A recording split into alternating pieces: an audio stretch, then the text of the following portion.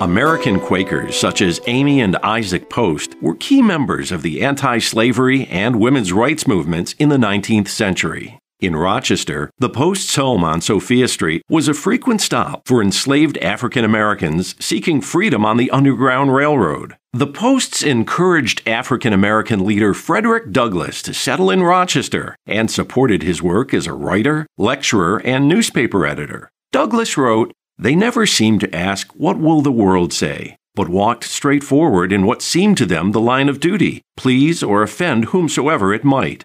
Amy Post encouraged fellow Quaker Susan B. Anthony in her struggle for women's rights. She assisted Anthony in gathering signatures and winning public support for giving women the right to vote. When their outspoken actions became too radical for even the local Quaker leadership, the Posts and Anthony left the church, but continued to maintain their plain, simple lifestyles and dedication to equality.